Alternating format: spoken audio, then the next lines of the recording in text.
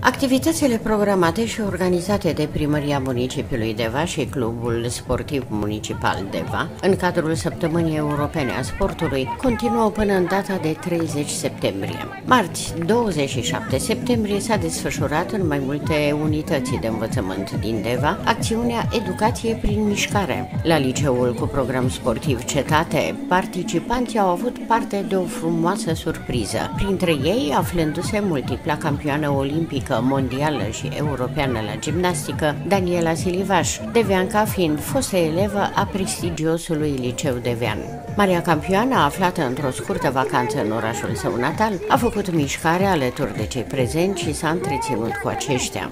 Mă bucur că am venit chiar în săptămâna sportului uh, european. Am ajuns uh, direct în sala de gimnastică și la liceul sportiv unde am crescut și mă bucur să fiu alături de colege de antrenoare și de copii de la liceul sportiv. Și întotdeauna, cum am spus de fiecare dată, vin cu uh, o mare bucurie acasă, cu toate că sunt plecată de 31 de ani. Uh, Deva este casa mea. Plecată de 31 de ani în America, viața marii campioane se împarte între familia din Atlanta și cea a părinților din Deva. În Atlanta muncește, antrenând copiii în tainele gimnasticii. La Deva își petrece vacanțele. Daniela Silivaș le dă și un sfat gimnastelor care vor să ajungă pe podium. Und Daniela Silivas erhält ebenfalls die 10.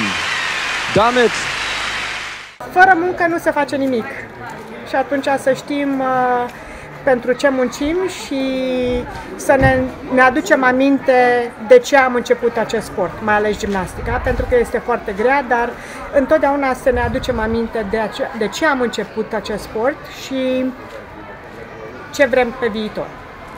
Daniela Silva și-a plecat ieri în America după o vacanță de două săptămâni pe care a petrecut-o în Deva, alături de părinți și prieteni.